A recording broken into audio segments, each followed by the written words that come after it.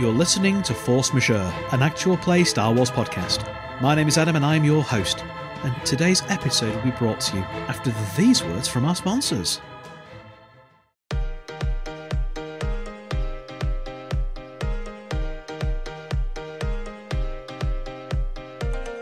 Why have the same view out your window every day? Come to Port Haven. Our cozy resort has everything you need to relax. Why not start your day with an adventure? Let one of our friendly droid guides take you on the safari of a lifetime through unspoiled jungle. See what our wildlife has to offer, then relax with a zero G massage from one of our famed Dug masseuses. You'll be amazed at what the Imperial Admiralty Board regrets to inform all holiday makers that Port Haven is currently closed for business. We apologise profusely for this inconvenience and will be offering a full refund on the price of any tickets purchased to this interesting holiday destination. Simply report to your local Imperial Security Bureau office with your name, chain code, and details of your trip, and you will get the recompense you require. Once again, the Imperial Admiralty Board apologizes for this inconvenience. Hello, everybody, and welcome back. My name is Adam, and I am the GM for episode 19 of the Coldfire Chronicles and I'm joined around the virtual table by.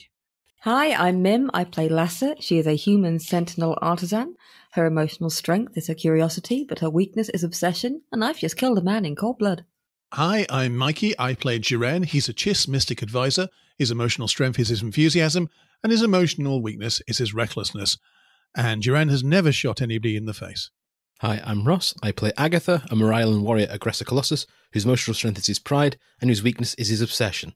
And Agatha hasn't shot anyone in the face either. Punch them? And, and also someone who, who almost certainly has shot someone in the face to bookend this neatly. Hi, my name is Ed Fortune. I play the character currently known as Oberon Brick. He is a human, he is an Ataru striker, and he is a seeker. His emotional strength is justice, and his emotional weakness is cruelty. And he has indeed shot people in the face, but mostly he goes for kneecaps first. And I think rather than any questions, we are just going to get straight back into the action. We rejoin our heroes in the Hooskow, gathered outside the bars to the cell where Lassa has just shot the unconscious Bosco in the head. Players. Oberon stands up, goes over to a locker, pulls out a body bag. J'Ren hasn't moved. He was turned round and was, was talking, and his expression hasn't changed either. He's just still looking directly where Oberon was. It looks like he's trying to work out what's going on.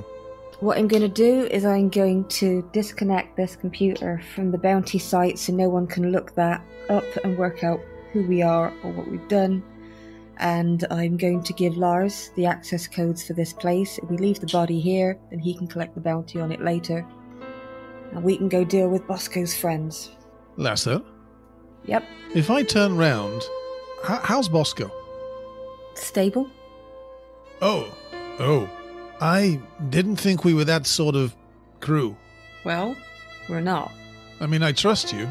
Larsa, can I make an assumption? He says, whilst literally doing the dirty work. This place is very dear to you? This whole place?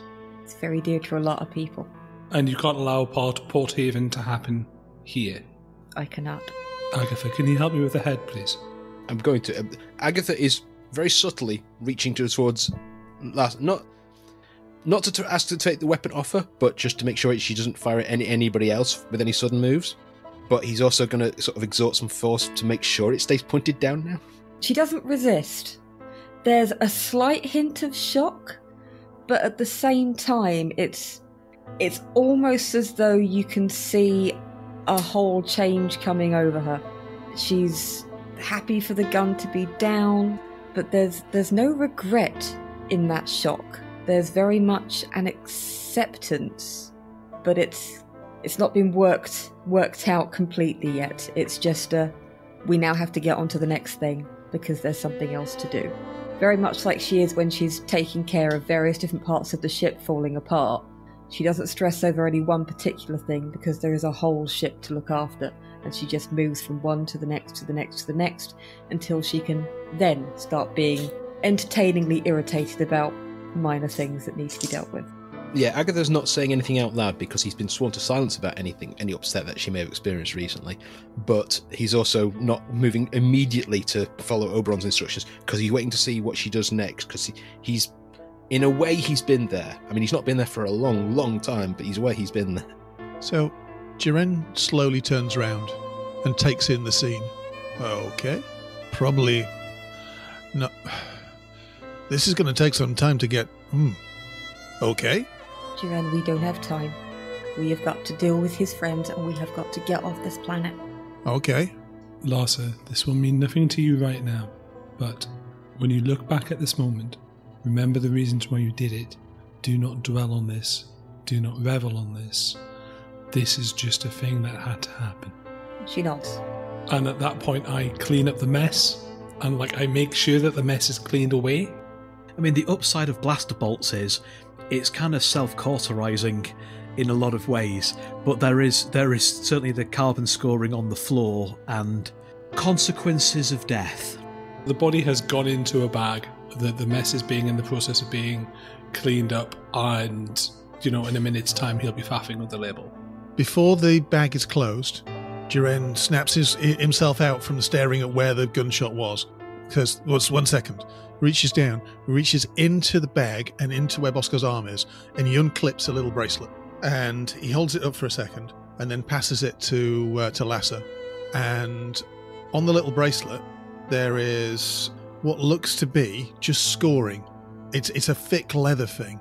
There's just scoring, and there's dozens upon dozens upon dozens upon dozens of, of, of lines. You should keep that. That is how many people he has killed.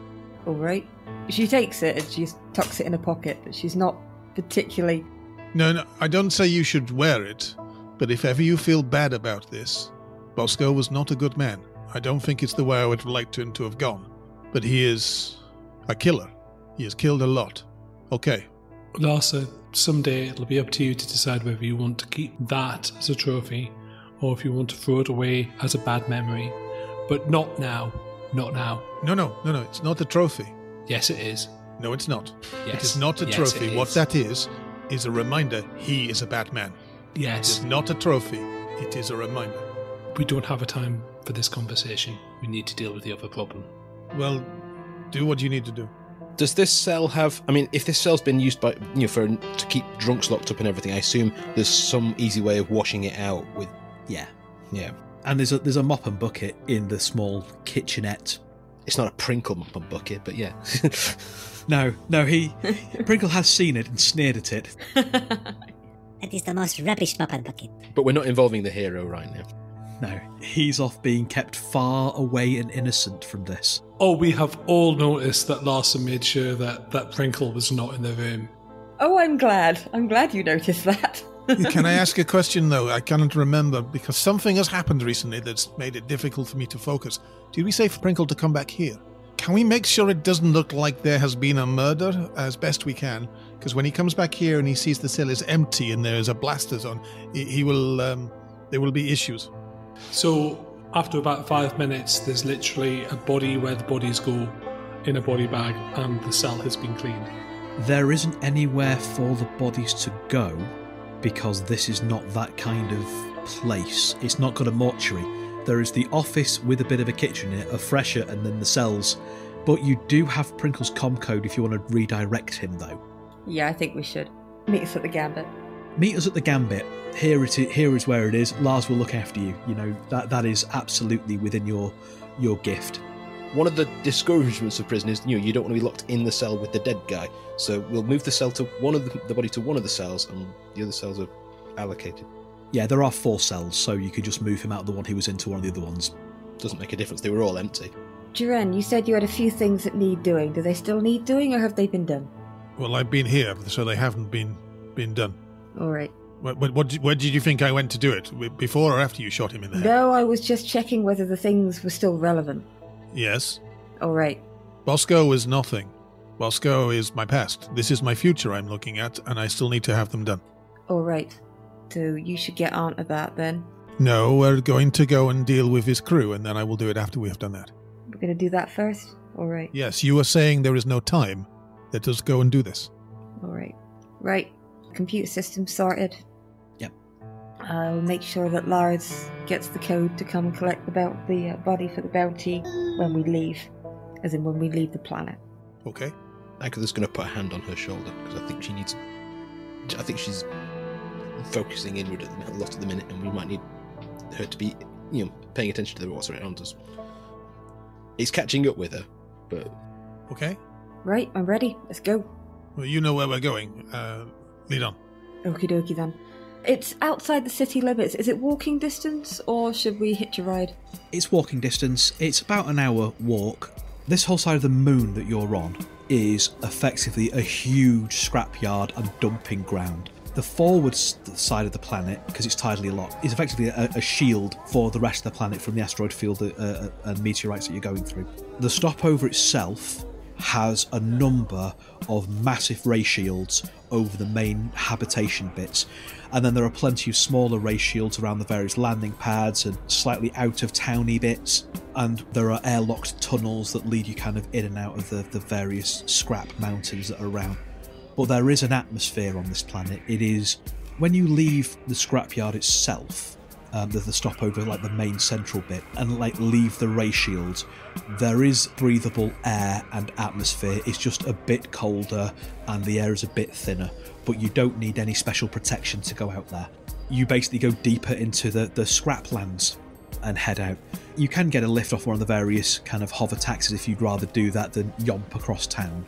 Yes, I, it's pro- probably more inconspicuous to just yomp across rather than uh, have a taxi with several bags of weapons. I suppose that does raise the question Ed, is Oberon's rifle assembled, or are you going to break it down and put it in its carry bag for the walk across town? As we've been told that we're about to go on a murder, which is how how Oberon's thinking about it rather than a hunt, he has his rifle up and out because they might still be coming. He doesn't think they are. He thinks they're they're hiding, but he's um he's on edge. He's very much on edge. He's like you can tell from his body language that he is not happy. Okay. So, yeah, you yomp across town. You do get a few looks from people kind of in passing, partly because you're carrying this huge rifle as you're walking through the streets, and that is pretty unusual. Most people that are visibly armed, it tends to be blasters and hand weapons and lower end melee weapons, you know, vibro knives, that sort of stuff. There is one Wookiee that you see who's currently doing some window shopping that has a truly unfeasibly large Final Fantasy esque sword across their back. It doesn't even look like it's a, it's a vibro sword. It's just a huge chunk of metal that, that someone who is very strong can swing around. But most people are like, in fact, it's a lot of it's slug throwers, like slug thrower pistols. The other reason that you get a bit of looks is because, again, Agatha's legend has spread a little bit in the days since the fight, but most of the looks that you're getting, Agatha, are quite respectful nods. You know, you put up a good fight, you dealt with a dangerous criminal who is no longer causing a problem. yeah, well, they don't know the full extent of that yet. But Yeah. So the nods that you're getting are, are fairly respectful nods. Once or twice you get stopped by a couple of people who just want to shake your hand and congratulate you on the fight and, and ask if you're going to be, you know, getting in the arena again, like for this upcoming weekend when there's another title bout coming on and, and that sort of thing. I am non-committal to my appearances at Yeah. this stage. I kind of imagine that it's unusual for Agatha to be approached by people who are quite positive him. I mean, it's unusual for him to be the one who's approaching the group. He's used to somebody else in the group being the one who's approached because he's not the one in charge. This is feeding his pride a little bit. Yeah. But yeah, you are the one that people are coming to talk to, really. And, you know, you do get a few kind of, hey, great fight. One kind of person who's who's running a food stall quickly runs over and hands you a couple of what look like womp rat kebabs. And, then, I want a load of money on your fight. On the house, on the house, thank you. And kind of goes back to the stall. And Cool. Noms. But eventually, you exit the main body of the stopover and you get out to the larger scraplands. And yes, once you're out from the ray shield that's overhead, for one thing, the sky is a lot clearer because it's not coloured by the protective shield. And you can now see the little bits of celestial debris and like high velocity nuts and bolts and little bits of asteroid uh, of, of meteorites kind of whizzing overhead as um, the moon the stopover's on continues its way through this very busy bit of space. Above you and around you tower the scrap piles, and there's crashed freighters here, there's wrecked starships there, there's broken containers and freight transportation bits there. You can see one pile that looks like it was at some point a battalion of battle droids that have all just been fused together almost and melted into one almost artistic sculpture of broken droids. And finally, you get to where Lassa has been pointed out that the gang are hiding out. So, whereas Oberon was very tight in the town, he's gone into full stalking mode now that he's outside the town, if you see what I mean. Because now he's like, he can do his job. He's still like very scowly, shall we say, and kind of deeply unhappy. And I, I look at the target through the scope and see what we see. So, the point that's been identified is buried in the scrap. And if you didn't know what you were looking for, you probably wouldn't have noticed it. But there is an airlock. It looks like it was the outs. It, it was um, a docking port of some freighter or other that's been repurposed, and it is currently closed. And very, very faintly, it looks like someone's tried to break the lights over it so it's not obvious, but they've not managed to get all the LEDs out. There is the, the very faint glow that shows that this is powered which is unusual for all the scrap around you, which is clearly, you know, rusting away and neglected. How do we want to do this? Obvious or carefully? I'm thinking, J'Ren, we should talk, ask them to come out and talk, but I'm prepared to go any way we want to. I mean, I could. Um, do we want them out or in? Sorry. I mean, they're not. I don't believe they're the world's greatest thinkers. I could probably go over and ask them to let us in. This is their territory. If they ever come out, they could be disruptive. We don't want them to be disruptive. They either stay in there or they leave completely. No, we're, we are we are dealing with them now. Hmm.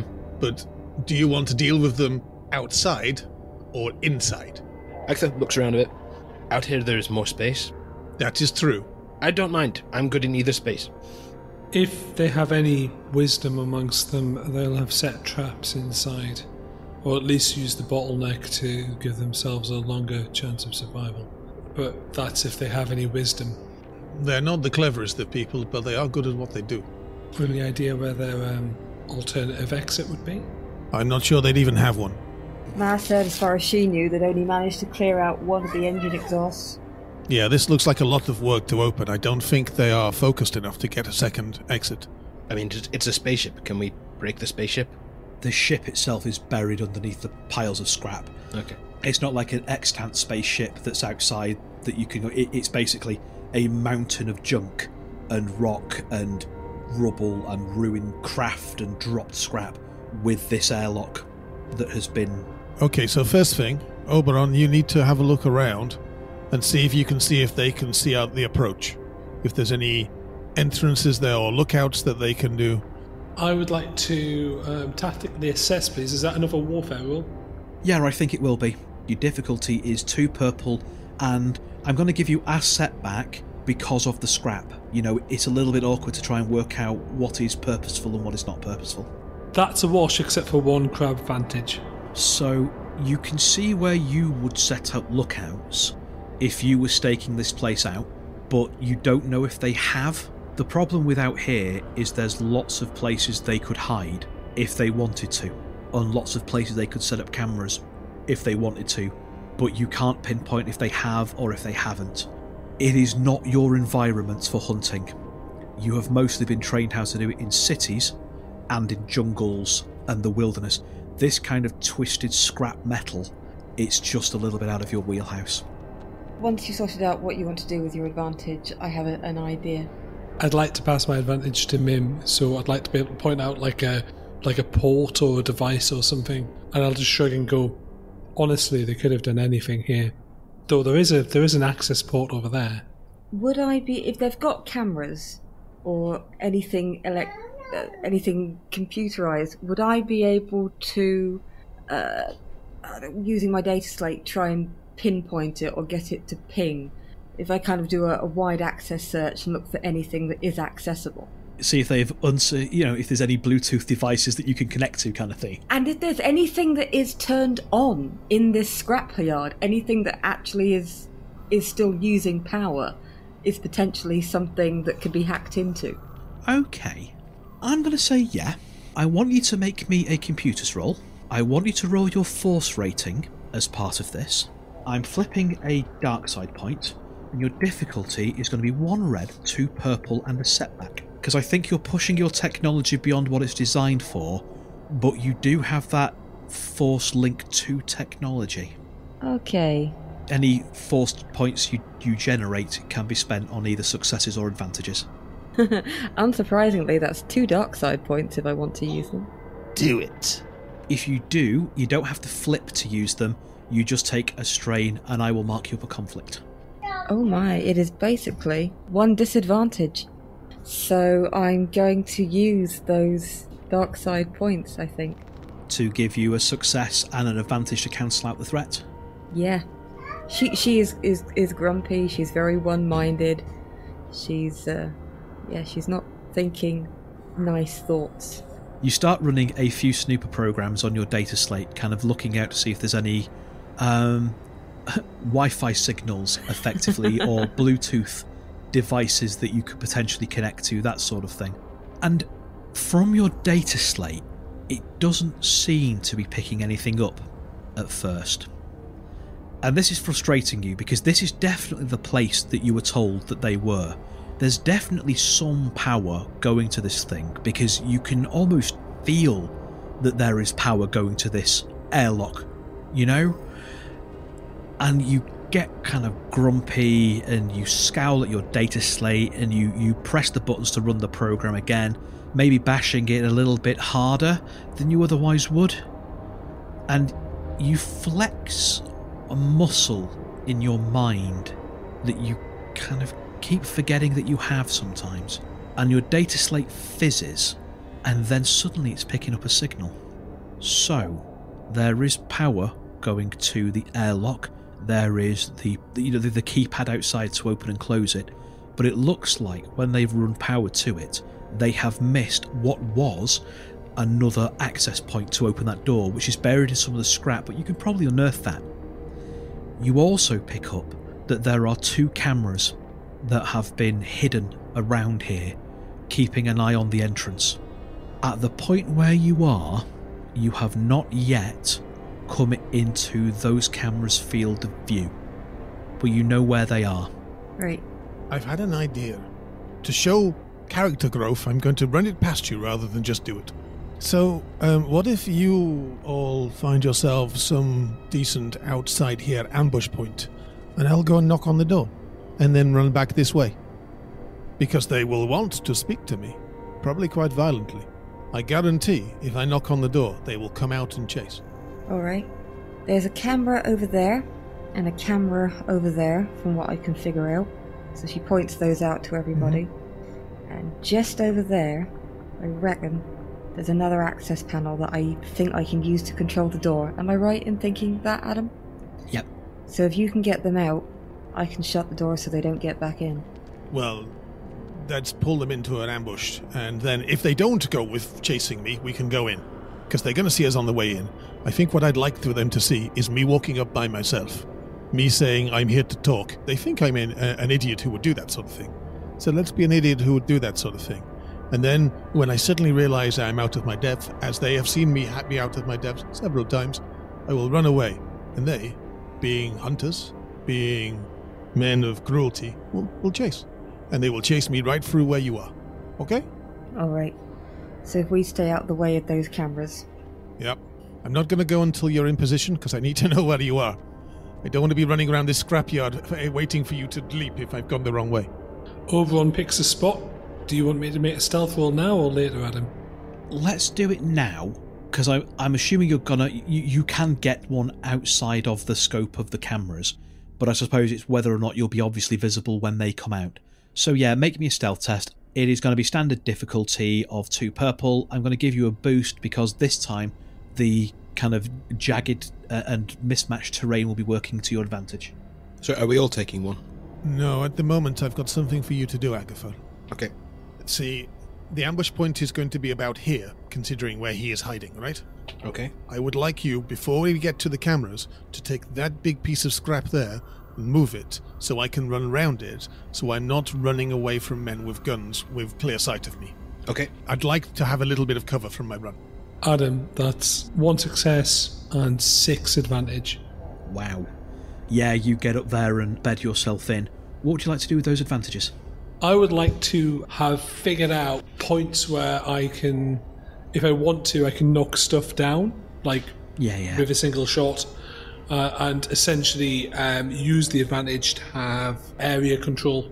Yeah, yeah, absolutely.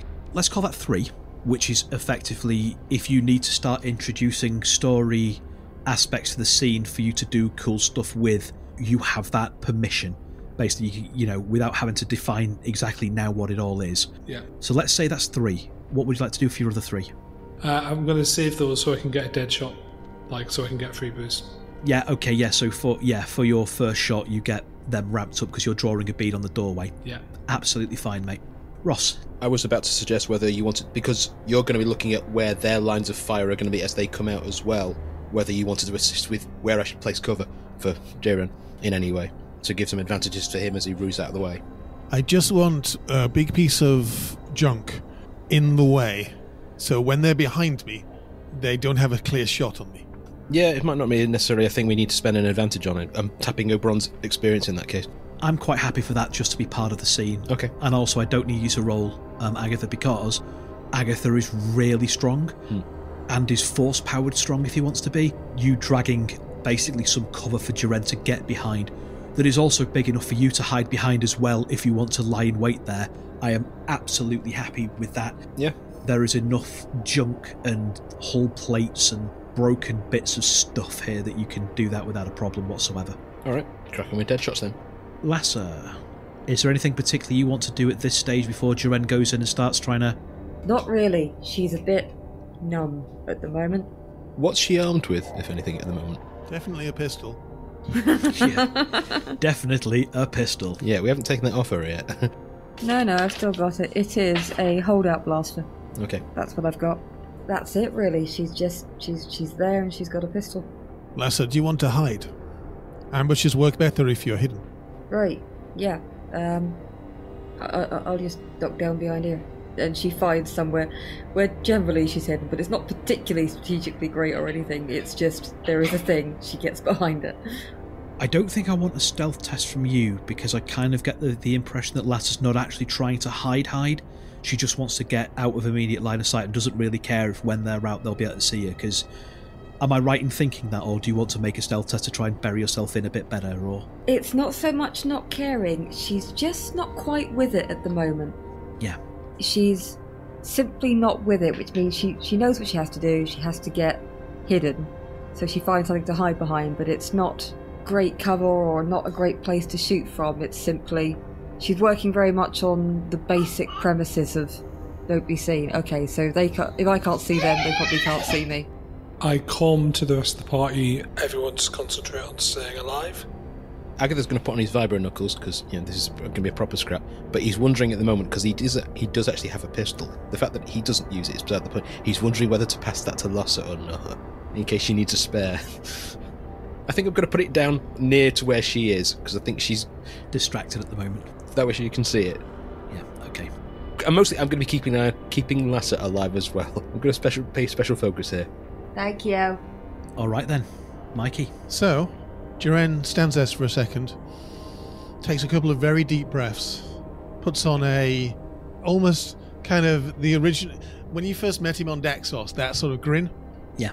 and walks out in the view of the cameras, down directly, and walks towards the airlock. He's not hiding himself. He's not paying attention to any of the cameras he knows are there. Get to the airlock, and he's going to ring the doorbell. Step way back, way back. Hey, he says, and onto the com before he steps back. I'm here. I imagine you want to talk to me. I've come alone, but we have Bosco. Your move and step back. A few very tense minutes pass. Because I imagine you're just standing there until something happens or until you get bored. Yeah, I think the boredom's going to hit first. It's only a couple of minutes, and then slowly the airlock doors slide open. And you can see that there are a couple of crates Yeah. that have been dragged up to just behind the airlock. About five foot high and a couple of feet wide. The airlock's quite big Yeah. uh, and quite wide. It, you know, it's designed for almost like um, speeders to come in and park. It's you know, Yeah. it's not a it's not a, a, a small person porthole. It is a decent sized doorway, and you can see leaning out from around those crates, holding blasters, are three of the crew, led by a Nikto that you recognise named Hiron, who again was one of your was one of the, the Bosco faction Yeah. looking down this tunnel, it's, it's a reasonably long tunnel, and you can see that at strategic points down this tunnel, there have been bits of scrap placed to provide effectively chest high walls, Yeah. Leaning on a video game trope. And at the end of the tunnel, you can see where there was another set of doors that, that aren't there anymore, leading into one larger opening, possibly what maybe was the cargo hold of this place and you can see movement in there as well. In fact, you're a chiss, you can see the dark, can't you? Yeah, I can. The other three crew members are down that end, also with blaster carbines, peering around to see what happens. I'm going to take a few steps back and possibly using my deception make it look like I, it's dawned upon me that this is possibly not the best of ideas. And then, then just as a micro expression, and then just go straight back and go, I am unarmed. We have your captain. We, we need you to leave this place. It is up to you. Here is my ultimatum. You decide to leave, we talk. Take a few steps back again, just to indicate that maybe I am talking my way around something and I'm not particular. I want them to think J'Ren's done this thing again. He's made a mistake. He's stepped into a place he's not ready for, and now he's suddenly doubting himself. Because that's what they'll think, I think. So I'm, and then a few more steps back. I am unarmed, I say again, and for that I want basically for them to chase me. Make me a deception test. I'm flipping a dark side point. Your difficulty is a single red. Oh, that is interesting. Yeah. That's four advantage, no successes, and three dark side. Well, I am leading them into a trap. Yeah. Hmm. And you are lying to them. And I am lying to them. So, does it cost me more conflict to use all of them? Yeah, so for every dark side point you draw on, it's one conflict, one strain. I think we'll just draw on one of them to make me an, uh, to make it successful. So then we will dr- tap into one of them, and I have four advantage and one success. Okay. Hiron, who is clearly the leader now that Bosco's gone, is exchanging glances with the others, and it looks like they might be coming out. He's clearly working up to say something, but he's taken a little bit off guard. What would you like to do with your advantages? Because you wanted to draw at least this group out into the open, didn't you? I want them to think that they have the advantage here. I want them to think that I have done something that I didn't, uh, uh, something reckless and foolhardy, like they expect me to do. I want them to think that my plan was to come up here, talk to them, and get them to leave, because I am overconfident and I think that's a possibility. I want them to potentially send more people out after me because their guard is down than they would have expected. So, really, you could send out one person and get me because I'm not a physically intimidating man. But I would like those advantages to go into their overconfidence and them to send out more people. So I think for two of those advantages, this whole group of three will come out into the open to try and get you. Yeah. But that still leaves you two advantage. I would like to spend those two advantages to a maneuver to bolt. Once I realise I've, I've drawn them in, run and get them to chase me. And just to give me a little bit of, um, of distance between them. Yep, okay. So Hiron kind of nods to these other two and makes his way out. But he's going, uh, Satan, Thou were right stupid for come here alone. We's gone take ye and get the boss back and turn thee in. Heard there's a bounty on your head now, wee boy. Come on, lads, rush him. Uh, and they, I mean, they're, they're carrying carbines, but they're not. They don't aim and then shoot at you. They are clearly running in uh, with them gripped as if to try and either to to hold you down or to hit you with the butt um, to try and knock you out. Those three kind of move out into the open after you, Yeah. and you rabbit. Yeah. And I assume that you rabbit round the corner to where Agatha is. That's right. Okay. And I'm not going to stay where Agatha is. I'm going to run past him so they focus on me rather than they might even run past Agatha so he can get swiping. Yeah. I think I'm going to need initiatives, but I'm going to give everybody a boost. So I imagine we're going off cool rather than vigilance. Yes, it will be a cool test. Five successes, two crowd vantage, and four light side points. Look at that. Look at that. Just look at that. Obviously, from light side points, I that basically means that everyone gets a bonus action, pretty much, with my uh, force powers. Nice. And that also means they all, because they're all getting bonus actions, they all also get defense two for the first round, don't they? Yep. Nice. So one success, six advantages. I've got two advantage and a triumph. Nice. How does that work? So, well, that just means that you go first. Certainly, that's how I roll it. Okay. It doesn't matter how many successes anyone else got a triumph, you go first and get a free maneuver. So you're likely to be getting two free maneuvers as you're moving preternaturally quickly. And Mim? One success, two advantage. So it is a player character, one group of minions, a player character, the second group of minions, two player characters. Who wants to go first? All of you have a free maneuver to either aim or to move or similar. And then the first person to go has a second free maneuver because of Ross's triumph. Doesn't it have to be Ross that does that? Oh, yes, yes, it does. Sorry, yes. So, yeah, Ross, you, you have a second free maneuver. Ross, do you want to go first? I don't want to get in the way of your shot. Adam, how far away are they from me? So I've moved back and then moved back again. So the group that are pursuing you are probably short range at this point because they've kind of moved up to follow you as you've bolted. I did use advantages to get further away from. Yeah, but relative this call it medium then, relative distances. So they're medium from you, from Agatha and from Mim, and they are also medium from Ed but in a different direction because he's up at an advantage point. The second group of minions are at uh, short range from the doorway, so they're at long from everyone else, but you'd have to move down to get a clear shot. Okay. So if they're at medium, I'm happy somebody else having a go for them to react because they probably. Well, we'll, we'll see. We'll see. I might get shot, but we'll see. I was going to suggest that I go, for Gore, then myself go, because we're basically going at the same time. Quite frankly, I don't want to go first or second. I want to go last. Okay, well, I'm going to deal with the group at medium range. The group that are out in the open, Yeah. because the other group are down the tunnel. So yeah, the group that are out in the open, yep. Yeah, let's deal with the, the first threat, and then we can come with the two shortly afterwards, because that'll be funny. Agatha is going to start using force powers, because he can. Are you going to move in, use your force power, and then move in? Because if you're doing it from medium range, it would require at least three pips. Yeah, I'd like to move to short range if I can. I don't know if I can aim. You can because you've got two free maneuvers one that's from your triumph, and then a super snacky bonus one you're not normally allowed to have from Oberon's Widley force powers. So you've effectively got three maneuvers, which I'm sure is possible. It might not be how the rules work, but I don't care. It's fine. It makes good TV. So you you can move aim, use your force power, and then move in again, or move back, or double aim. I'll see what happens once I try hitting them. But yeah, I'm going to be using hurl power, because I have force move to that extent.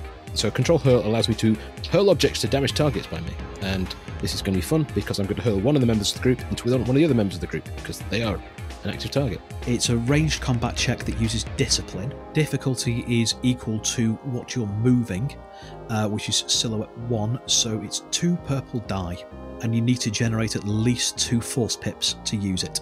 For the force users out there, the good news is two dark side points. Well, it's the way we're going, isn't it? It seems to be, yeah. Have you succeeded first of all? I have succeeded. It's five success, no advantage. Five success, no advantage. Yeah. Crikey. Tell you what, I'm not going to use the dark side points. You have to, otherwise you can't use the power. Ah.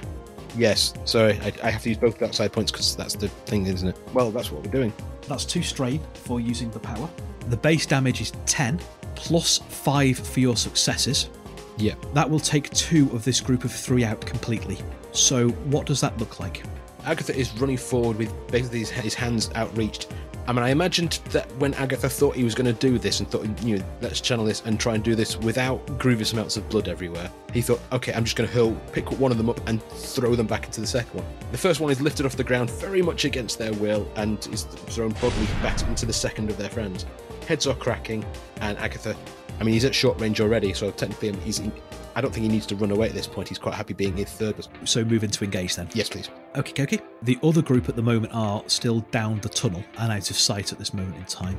The next group to go is the minion that you're engaged with. The pirate you're engaged with looks with horror and shock at what you've just done to two of his friends, staggers backwards as their maneuver, levels their carbine, and just unloads at you at point blank range with their blaster carbine. Okay. So that is that is one success, but four threat. Okay. So that's 10 damage before soak as they just like hose you down with blaster fire at point blank range. But that is four threat. That is a considerable amount of threat. What do you want to happen for that threat? I'd recommend really simply just give them some uh, some soak damage because they're panicking. You know, just basically damage them directly like you would do with threat on us. Yeah, just hit them for four strain. Yeah, that's the. I mean, do we want him to be screaming loud enough that the guys still coming at the tunnel and think twice about it? Well, we need them out here, but we can always open it up if need be.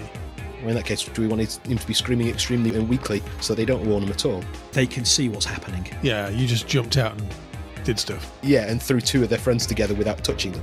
Just Hadouken them. Yeah, this is what, what I wasn't doing in the arena. In his flailing, he could um, jam the door open using Star Wars logic. He's not right next to the door, unfortunately. But he's got a carbine and he's blasting away and Star Wars door logic. I'm happy if you want to spend two of those threats, Star Wars door logic, the door open so that the pirates down the tunnel can't close it. yeah, I love that that's a verb. And then maybe give them a setback die because they've suddenly realised that they are trapped. Let's do that. So yeah, the minion group that's not acted yet, give them a setback die because they're all like, holy criff. Yeah. So, next PC. Can I go? Yeah, yeah. So um, I've got a, an additional maneuver, so I'll spend that on aiming. Yep. That gives you four boost for your pinpoint shot. Yeah, that's a lot of dice. And it's medium range, you say? It is, yeah. Okay. The other option, just before you roll, is rather than using your maneuver to aim, either of your maneuvers to aim, you could take your shot and then if this minion drops, use your free maneuver and your normal maneuver to get down on the ground. Because from your point of view, you won't be able to see anyone down the tunnel. That's totally what I'll do. Three successes, six advantage. Like one of those was a light side point, but I just turned it into an advantage. Uh, sorry, into a into a success. That does trigger the crit. You don't need to. This this is just one person, and that amount of damage will take them out straight away. Okay, and then I will use the grapnel in my armor to rappel down. Yeah, that's absolutely fine. That could be your maneuver, so you've still got six advantage to play with. Wow. So literally, I aim, aim again with the, the rappel, crack off the shot as I'm coming down. So literally, like I'm following the bolt as I come down, because that just looks cool. I land, basically superhero landing, because again that looks cool. This pirate just drops the ground by your feet as you land from your bolt going through him. So six advantage, I have them completely covered down the hole. Like I have again zone control of the rifle. And because this is going split second, that's going to give them serious disadvantage to anything really, because like they're aware that I can just shoot them again, as in when they're trying to come out. So it's but it's a more setback dice essentially, because there's nowhere they can run to before they get to me where I can't have shot them. Because they're not a team, because they're all minions, they're like trying to not be the first person through the door. It's their turn next, Yeah. and I think that what they're going to do is shout down the corridor, We're sorry, we surrender, please don't kill us! And you see them throw their blasters to the floor. And I think that's what they're, that's what they're going to do for their turn. They're staying in cover as best they can, although effectively, Ed, you have negated any cover they may have, because between those advantages and your previous setup, effectively you can just Robocop blaster bolts down here and ricochet them off the walls, but they have thrown their blaster carbines down and are crying that they're going to surrender. And that's their turn. Can I go next? Yeah, of course you can go next because they've just asked to surrender, and it's like, oh. Yeah, I'd like to get a word in edgeways before you pop them. so, J'Ren, while Agatha steps out, of stops running and stops, gone to a jog. And as Agatha turns, goes past him, turns round and starts walking back down the corridor with his arms out. They announce they are surrendering, and um, I'm going to use my. I've, I've still got an extra maneuver, haven't I? For sort of, uh, so to walk up twice, so I'm in short range of them, open my arms and go. This is your captain speaking. Come out with your hands up. And that's where we're going to end the episode. Thank you to my players for playing. Thank you, as always, to you, my listeners, for listening. Our listeners, not mine. You do not belong to me. You're a collective resource, loved equally by all of us here. Thank you so much for being with us, and we will see you next time.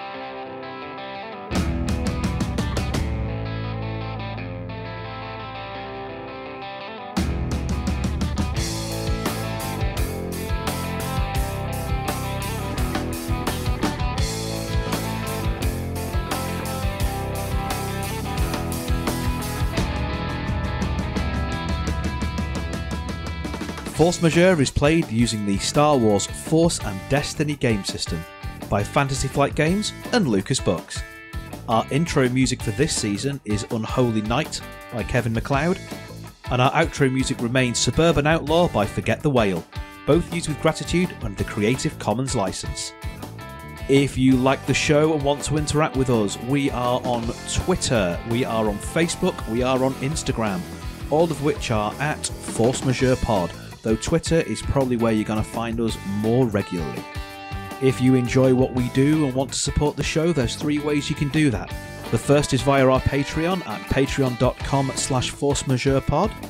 The second is by buying us a coffee at ko-fi.com slash forcemajeurepod. And the third way is by rating and reviewing us on iTunes, Google Play, Stitcher, anywhere where you can find us. We really like reviews, it tells us that we're telling the stories that you want to hear and helps other people find us. Thank you very much for listening. We'll see you next time.